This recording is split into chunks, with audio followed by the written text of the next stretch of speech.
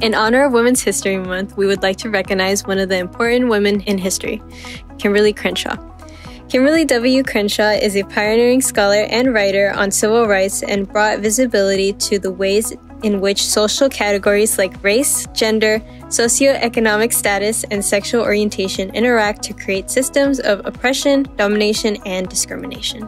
Good morning, Saints. It's Kenzie, one of your recognition commissioners.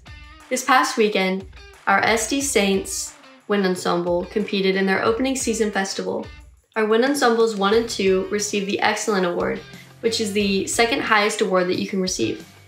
Our wind ensemble number 3 received a unanimous superior, which is the highest reward you can receive. We want to thank you so much for your hard work and dedication, Saints, and we congratulate you on your big win. We can't wait to see what the future holds for you, Saints. We also wish you luck as you continue to compete over the next few weeks, and we know you'll do great, Saints. Now, back to your regular news.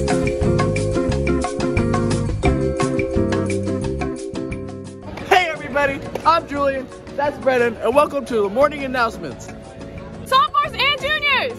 Sign up to hear from our Cal Poly rep about how to build a strong high school resume. This event is on March 16th during fourth period. Use this link to sign up. National Pi Day is tomorrow. Mathletes will be selling pies in Mr. Kim's classroom F7 during 5th and lunch tomorrow. $3 a slice, $15 a whole pie. They will have 11 different flavors for you. Yay! Yay!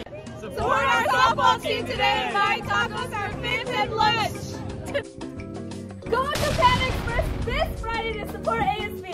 ASB puts on rallies, dances, and other activities for you students to enjoy. The money goes directly back to you, so be sure to go.